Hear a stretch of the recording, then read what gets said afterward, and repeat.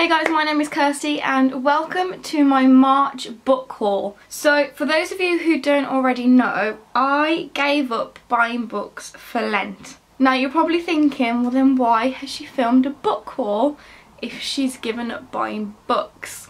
Well, that's because before March, about in December, I pre-ordered all of my books for 2018 and a few of those books that I pre-ordered were coming out in March. Obviously those books arrived at my doorstep in March. Doesn't mean that I brought them in March, it just means I pre-ordered them and they arrived. So I haven't broken my Lent. I have done it. I have succeeded and I don't know whether to be happy or sad that there is literally four books.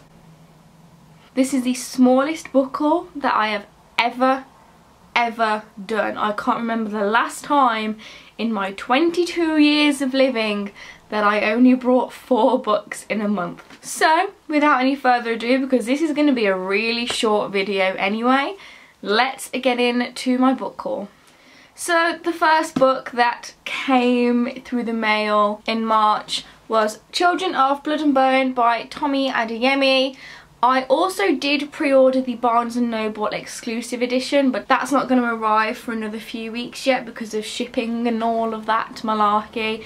But uh, the paperback version did arrive and I haven't read it yet. I know that everyone's read it because it's like one of the most highly anticipated books of this year and as soon as everyone got it in the post or brought it from the shops they read it. I didn't because I'm just different and difficult like that. I do really want to get around to it very very soon. I've heard loads of people say that it's like their new favourite book which is really exciting. The cover is absolutely gorgeous. We've got the spine the back there. I'm very, very happy to have this one finally. The second book that arrived in the mail was Obsidio by Amie Kaufman and Jay Kristoff and this is the third and final book in the Illuminae files.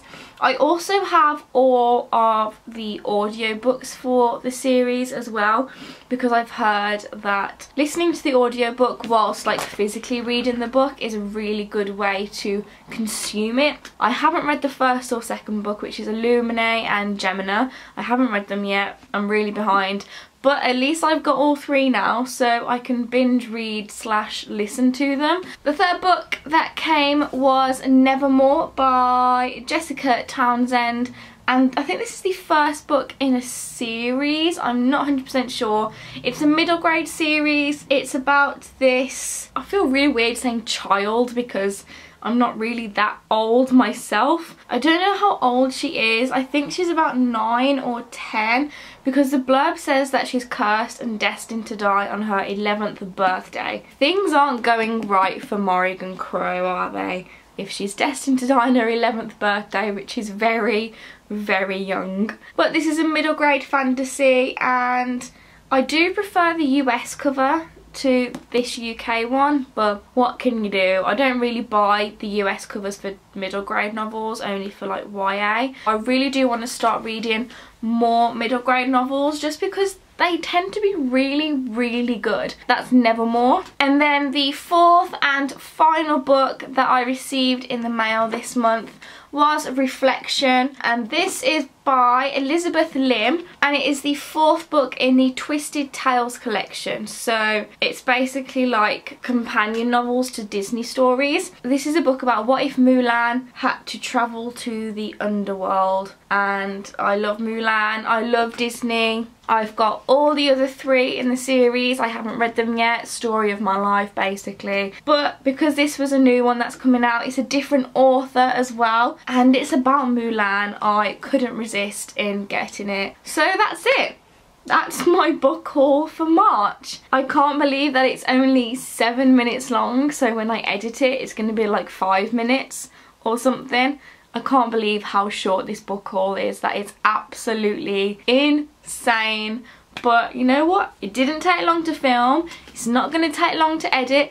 And those are the type of videos that I love. So that was my March book haul. What books did you buy in March? let me know in the comments box below. I may have a few more books in the next book haul I think. I want to try and keep spending to the minimum on books because it's actually felt quite good to look at my bank account and not see funds deplete because of book buying habits.